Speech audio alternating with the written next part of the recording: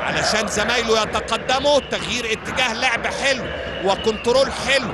من زولا يسري وحيد. تسديدة قوية جدا جدا. وادي المتابعة. جول! جول! جول! جول! جول! جول! عبد الرحمن شيكا.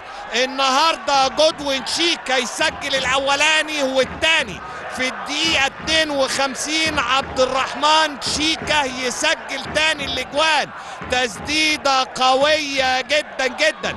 من يسري وحيد فيها عنصر المفاجأة والمباغتة ترتد تجد عبد الرحمن شيكا يحطها ويهز الشباك لتاني مرة لمصلحة طلائع الجيش علشان الجيش.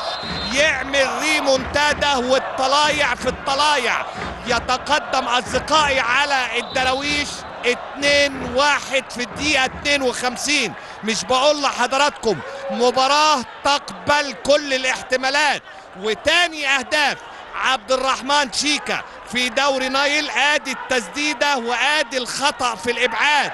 وابحث عن التفاصيل وابحث عن الفولو الحلو الجيد من شيكا عبد الرحمن شيكا بيسجل تاني الأجوان. فرحة قوية جدا جدا للاعبي طلائع